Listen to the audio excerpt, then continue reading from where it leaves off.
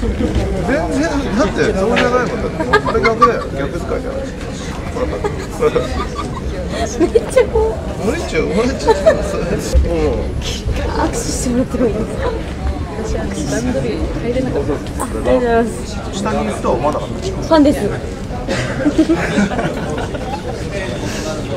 すごいな橋本さんとはあのあの違う作品でも、えー、2度ほどあの共演させていただいたことがあって今回3回目なんです。はい。ちょっとうるさい。なう